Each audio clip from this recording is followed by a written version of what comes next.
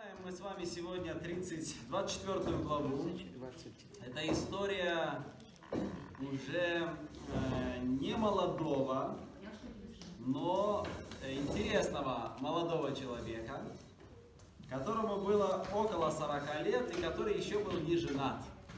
Это Исаак. И мы с вами прочитаем в этой главе, как Авраам, отец, искал ему жену. Интересно, что отец этим занялся, почему он, а не сам Исаак. Ну, в общем, давайте вникнем в эту историю. Итак, Бытие, 24 глава. Авраам был уже стар в летах преклонных. Господь благословил Авраама всем. И сказал Авраам рабу своему старшему в доме его управляющему всем, что было у него, положи руку твою под стегно мое, и клянись мне Господом, Богом неба и Богом земли, что ты не возьмешь сыну моему жены из дочерей Хананеев, среди которых я живу, но пойдешь в землю мою, на родину мою, и возьмешь жену сыну моему Исааку. Значит, здесь говорится о том, что Авраам был уже стар в, лица, в летах преклонных. А сколько же ему было? Кто из вас примерно и как думает? 100, 120. 100, в 100 лет родился Исаак. Ровно в 100. Да, так как 25 глава, 20 текст говорят, что Исаак был 40 лет, когда он взял себе в жену Ревекку, значит 24 глава пишется, когда Аврааму 140 лет. Это молодец, он живет долгожитель, правда? Да. А кто из вас еще знает, сколько вообще проживет Авраам? 175. Да. Авраам будет жить еще 30 с лишним лет. И вот этот случай, когда Авраам думает, вот родился у меня сын обетования, но у него нет жены. Вы знаете, что когда время приходит, наши дети не спрашивают, какую, какую жену им взять или мужа. Правда? Но почему-то Исаак ждет и не берет без воли отца себе жену. Значит, хочу сказать, что это история о хорошем сыновнем послушании, о том, что он был воспитан в традициях, где родители многие вещи помогали и решали. И хотя в следующем уже поколении Исав, вот когда уже у Исаака родится Исав и Иаков, Исав будет брать жен себе как захочет. А Яков будет ждать, когда отец ему скажет, и пошлет его, подобно как в данном случае Авраам сделал. То э, были случаи, когда каждый сам себе брал какую жену, кто хотел, а были случаи, когда люди с родителями советовались. Поэтому скажу, чем отличается сегодня время от того. Хотя нас отделяют от Авраама, как вы думаете, сколько лет? Авраам жил в 1900 примерном году, 1900 году до нашей эры, плюс 2000 нашей эры, значит около 4000, как вы и говорите. Но я вам скажу, что слушать родителей и советоваться с родителями о муже и жене в будущем всегда благословенно. Всегда. Некоторые люди меня спрашивают со стороны, а если у меня родители неверующие? Я говорю, они родители, они тебя любят, да. Поэтому посоветоваться с ними не будет лишним. Понятно, что их мнение не закон, но посоветоваться даже с неверующими родителями, говорят, а если родители неверующие против верующего мальчика? Если они против вообще веры, это одно. Но если они тебе говорят, вот верующий твой мальчик, неряшлив, не культурен, грубый, не жадный, не уважает тебя и нас, но он верующий, то я бы обратил внимание на совет родителей. Потому что хотя этот мальчик и верующий, но скорее всего что-то у него не в порядке с характером. А если они говорят, что да, он вежливый, ухаживает, вот неверующие родители, он добрый, он щедрый, но он сектант. Вот тогда можно подумать, сказать родителям, ну мне же жить с ним, он добрый. То есть э, зачастую, вот 90%, когда вот консультировал и общался я с молодыми семьями, консультировал пары перед венчанием, даже неверующие родители желают своим детям добра и дают здравые советы. Поэтому всем, которые хотят с кем-то дружить, Спросите у своих родителей, что бы вы мне посоветовали, кого бы вы мне посоветовали. В общем, дальнейшая история вам известна, правда? Она очень длинная, я хочу только вам опыт рассказать Елиезера. Значит, Елиезеру, он клянется, и он говорит, ну хорошо, я схожу. А, а Авраам говорит, Бог пошлет ангела в седьмом тексте, и он приготовит путь, и ты возьмешь жену моему сыну, жену возьмешь. Он как бы уверен, а потом говорит, но если не захочет та женщина, он как бы уже уверен, что там есть жена. Но вдруг эта женщина не захочет. Свобода выбора. Понимаете? Любовь строится на свободе.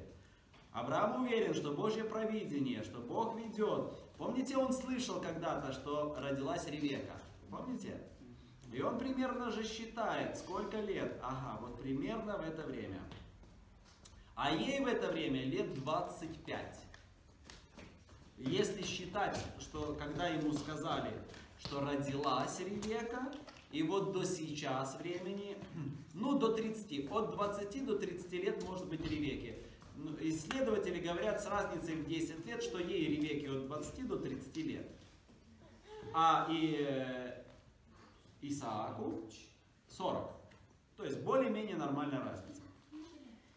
И он говорит, э, иди, у нее свобода выбора есть. И в общем он пошел, взял господина верблюдов, богатство набрал, пошел.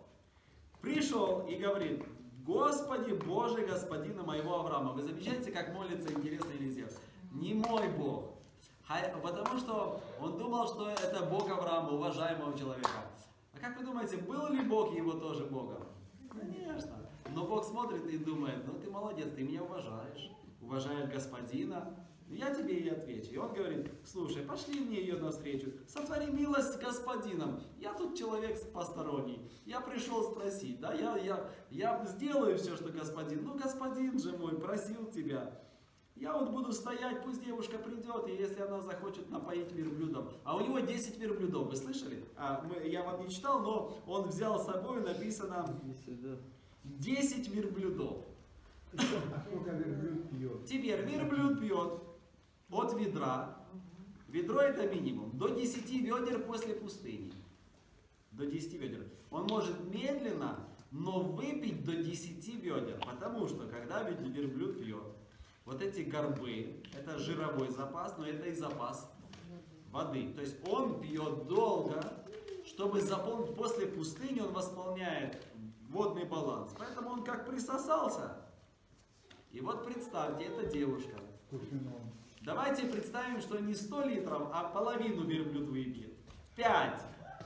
10 верблюдов по 50, они выпьют 500 литров. Правильно? Теперь представьте, девушке надо начерпать. А он говорит, а я у нее попрошу воды и все. Если она скажет, да я тебе и верблюдом твоим, а там стадо верблюдов. Это представьте, на какую жертву она должна согласиться. Она будет в мыле. Сколько она этим кувшинчиком? Ну пусть кувшинчик от 10 литров до 20. Сильная девушка, мне кажется, в то время могла и 20-литровый кувшин взять. Но если это изящная девушка, допустим, 10 литров у нее кувшинчик. А если 20, это уже... Вы думаете 10? Ну, тогда были сильные девушки. Да, тогда были сильные, по-любому. Ну, давайте так скажем. Если 10, то ей надо 50 раз сбегать в колодец. Если 20 литров, то ей надо 25 раз сбегать с 20-литровой канистрой. Вы представляете, на что она себя обрекает? По ступенькам там. Бегать? Там же может сразу колодца они били. Хорошо. Но, но она, смотрите его условия, она не даст кувшин и мне. То есть другая бы девушка сказала, хорошо, хозяин, ну, господин, я тебе дам кувшин, напои своих, своих верблюдов, вот иди там кинь, веревку тебе, все там. А он поставил условие, что она сама это сделает.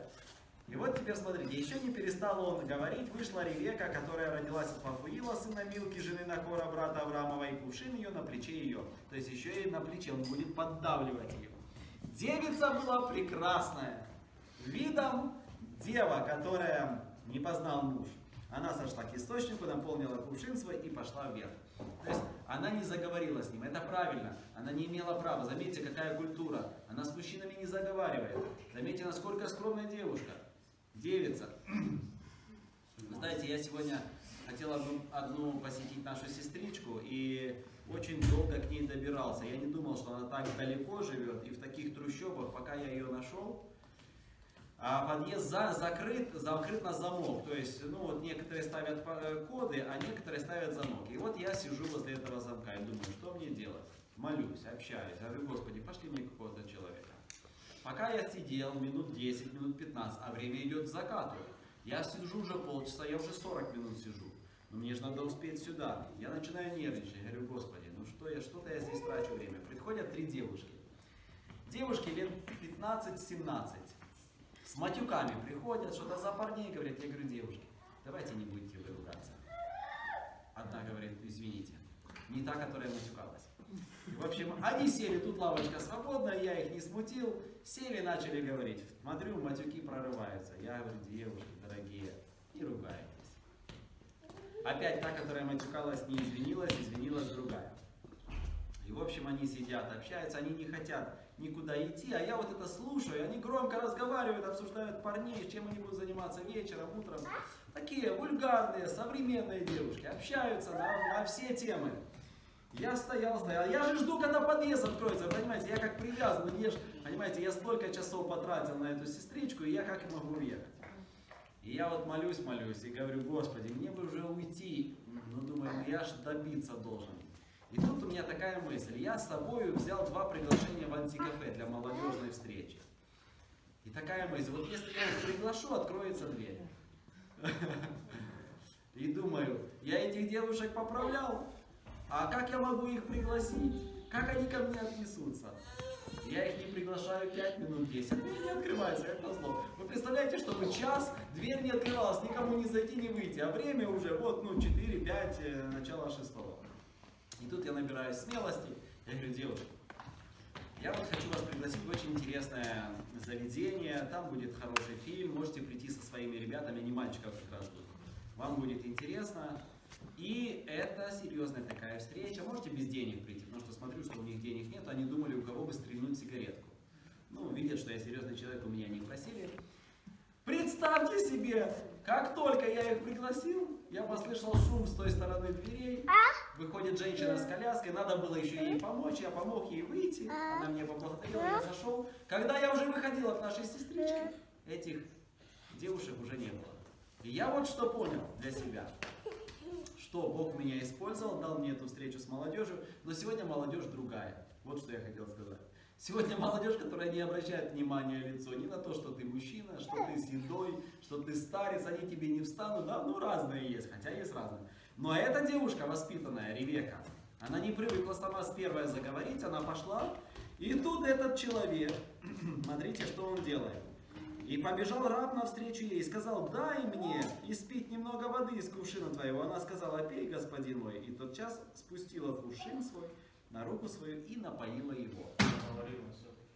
Да, она, ну когда он попросил, она заговорила, поставила кувшин на руку свою и напоила его. Вы замечаете ее позу?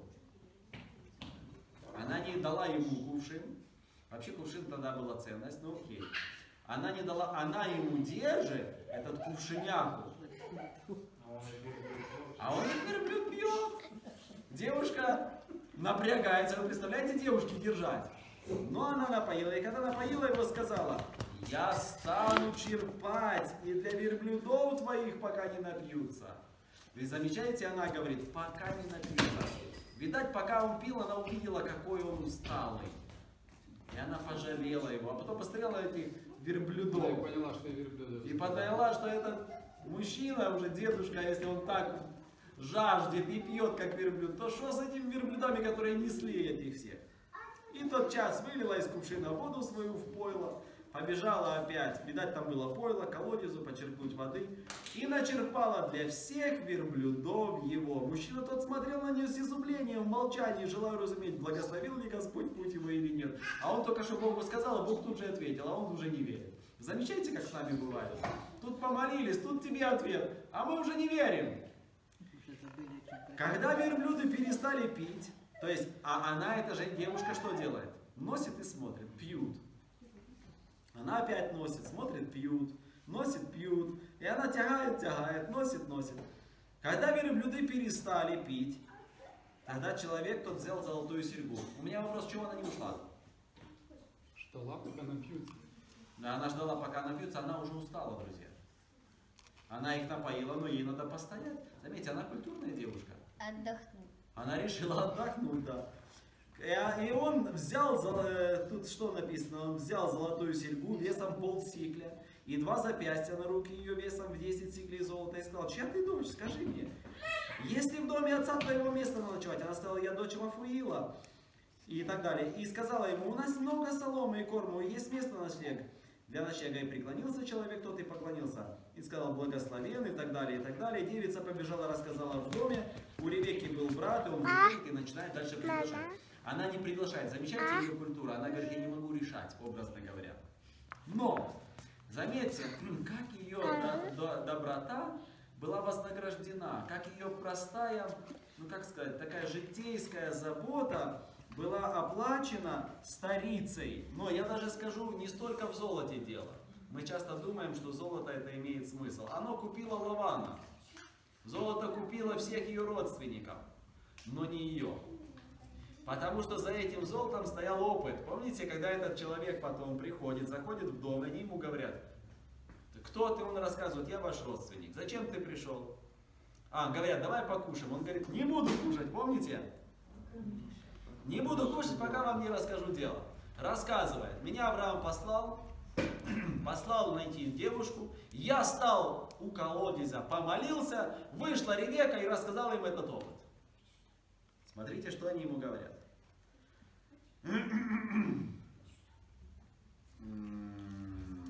Еще не перестала я говорить в уме моем. Вот вышла Ревека, 45 текст, и кувшин на плече ее. Она сошла к источнику, почерпнула воды, и я и сказал, напои меня.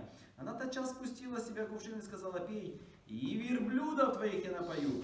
И я пил, и верблюдов она напоила, и спросил я, и сказал, чья ты дочь? Она сказала, дочь Вафуила, сына Нахорова, которого родила ему Милкой. Я ему дал, дал, и дал я серьги ей и запястья на руку. И преклонился я, поклонился Господу, и благословил Господа Бога, господина моего Авраама, который привел прямым путем, чтобы взять дочь брата господина моего за сына его. Он рассказывает, что у Авраама родился сын, и вот я, он послал меня за этой дочерью, и я вот за ней пришел. Вы представляете, какая, какая революция в семье Нахора? Жил себе Нахор, ни о чем не думал. Дочка растет, еще рановато замуж, ну, а может не рановато, растет Лаван, и тут она приходит, приводит гостя. Гость, ни здрасте, ни до свидания, рассказывает историю, я молился, и мне надо забрать вашу дочь теперь к себе. Вы представляете? Дальше он говорит, и ныне скажите мне, 49 текст, намерены ли вы оказать милость и правду господину моему или нет? Скажите мне, и я обращусь направо или налево. То есть он говорит, я буду знать, мне оставаться, не оставаться, что мне делать? И отвечали Лаван и Вафуил, и сказали, от Господа пришло это дело. Мы не можем сказать тебе вопреки ни худого, ни доброго. Вот Ревека перед тобой, возьми ее и пойди. Пусть будет она женой господина твоего, как сказал Господь. Я вам скажу, это хитрый ответ. 51 ответ, 51 текст, это хитрый ответ. Они, конечно, сломлены потоком аргументов от Бога. Но они в этого Бога, я вам скажу, сильно-то и не верят. Они знают, что этот Бог существует, что Авраам в него верит. Но я вам скажу, что у них есть много других богов. Это же идолопоклонники уже, Вафуил и Лаван. Вы помните, потом Лаван, когда его дочь, э, две дочери, Лия и Ра- Рахиль, будут уходить, они заберут башков. То есть в этом доме идолопоклонство. То когда они говорят, от Господа, не можем сказать тебе ничего не худого, ну вот Ревека. Смотрят на Ревеку, даже не спрашивая. Хорошо, бери. Смотрите, что их ответ сделал с рабом, с Елизером. Когда раб Авраама услышал слова их, то поклонился Господу до земли, вынул раб золотые и серебряные вещи, одежды, дал Ревеке. Брату, матери ее дал богатые подарки. Ели, пили, они и люди, бывшие с ним, и переночевали. Представляете, они же увидели золото, увидели серебро, Он купил.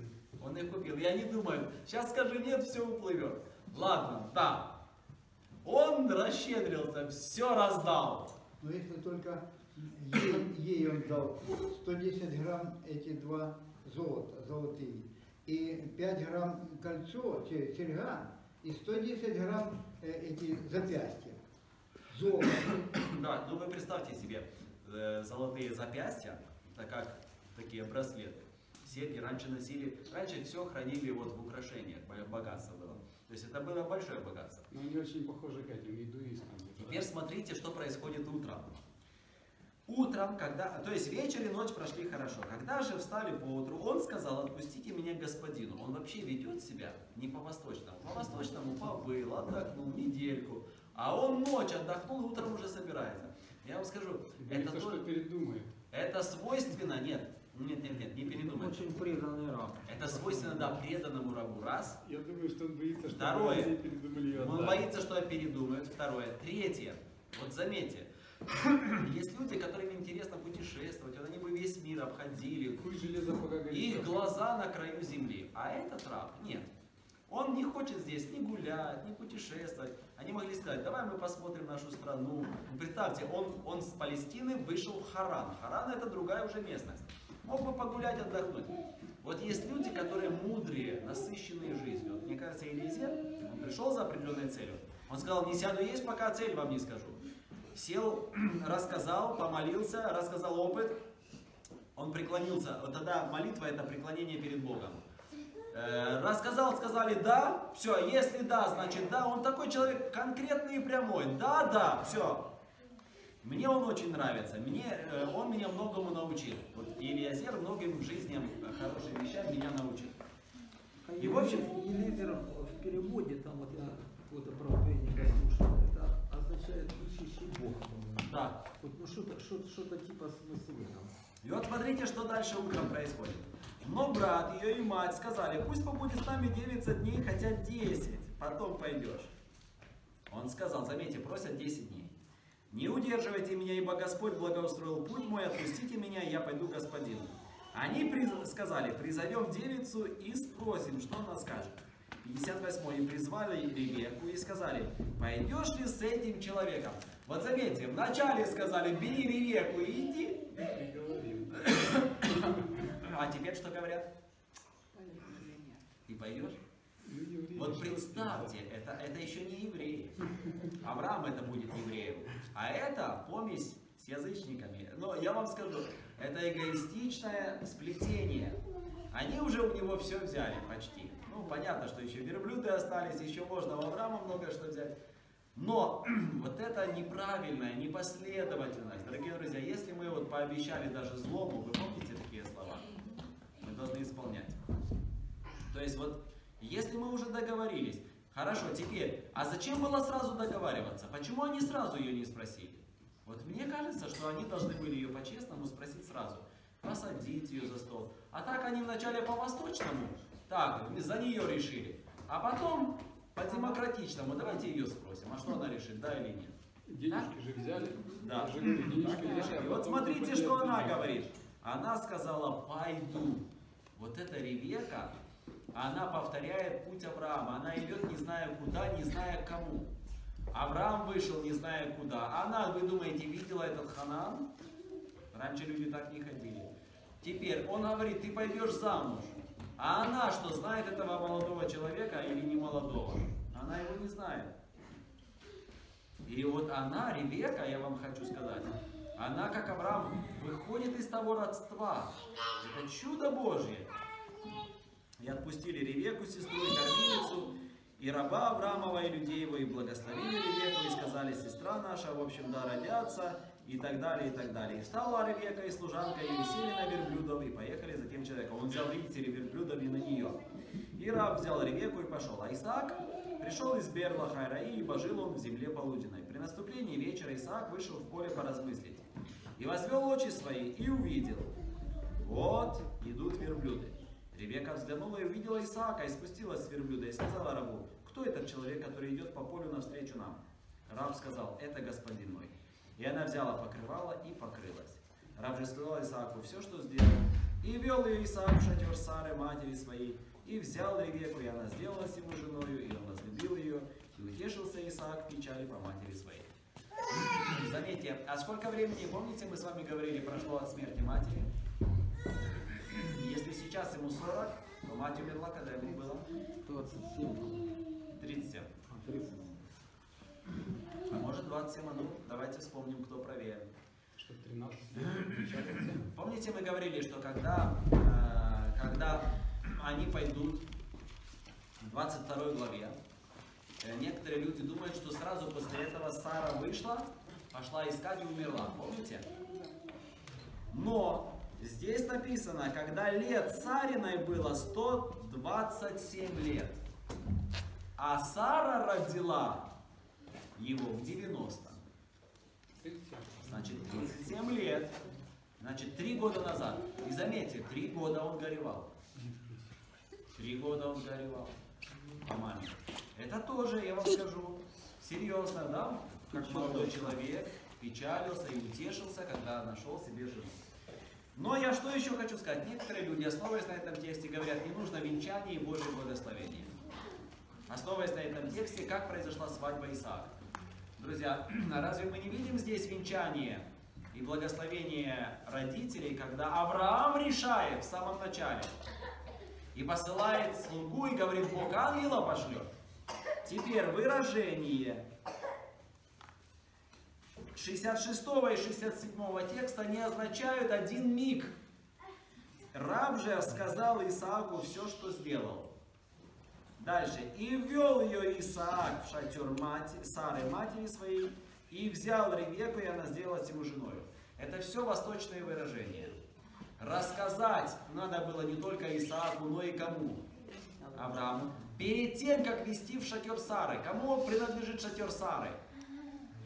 Аврааму. Теперь смотрите. Когда, естественно, пришла эта женщина, Авраам может сказать, подожди, сделай себе шатер для Ревеки. А я возьму себе другую женщину. Например, в следующей главе написано, Авраам взял еще жену.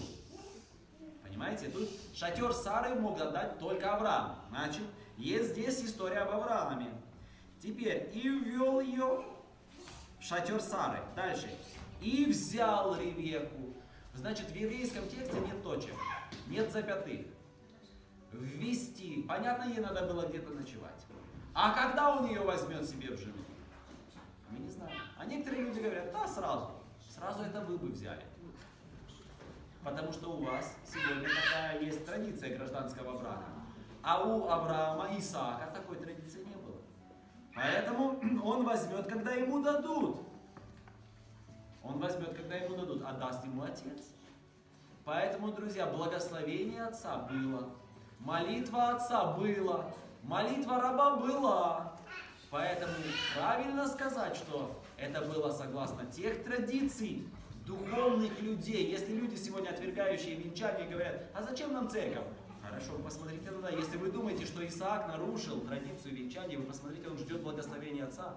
Он видит опыт отца, он, он уважает веру и опыт, который сопровождает раба. Мне бы кто-то привел девушку и сказал, а мы молились, и у нас был такой опыт. Я бы сказал, вы молились, но это же не я.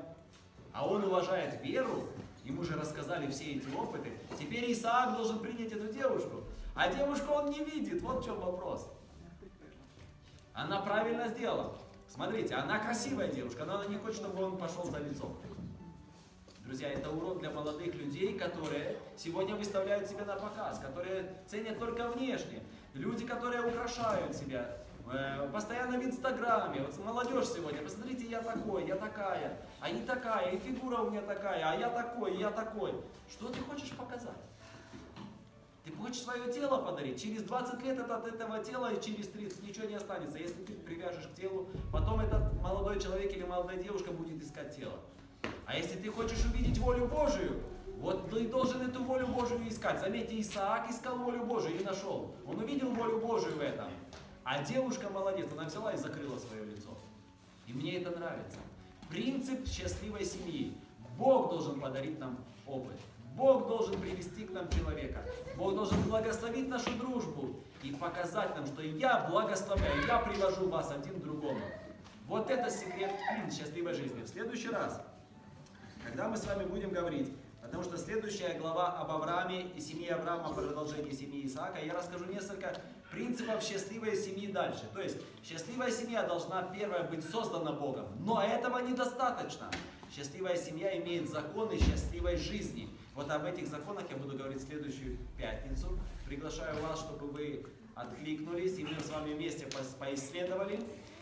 Ну а на сегодня хочу сказать, что так как Бог задумал брак, и в браке олицетворяет Бог своего сына и свою невесту сына, Христа и церковь, поэтому каждый брак задуман Богом как маленькое чудо спасения, чудо, э, в котором олицетворяет Бог свою любовь и свою жертвенность.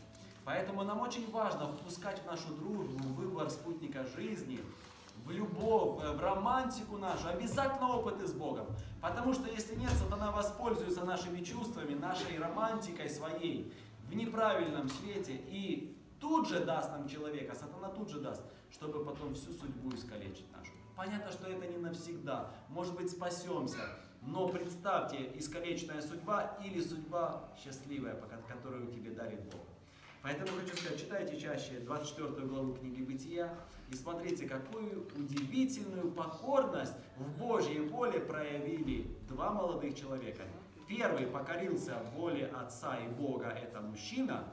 Вторая покорилась воле Бога и воле родителям, даже мужа своего, она увидела в этом волю Божию. Она видела, какое поклонство в ее семье, но раз ее как бы благословили и отпустили, она согласилась, и когда ее спросили, ты пойдешь? Пойду. Поэтому пусть Бог благословит и нас, и наших детей, и нас, как родителей, быть мудрыми, если нас спросят, выберите, папа, выбери, мама, выбери мне мужа или жену. Вы представляете, какая ответственность? Вы бы взялись?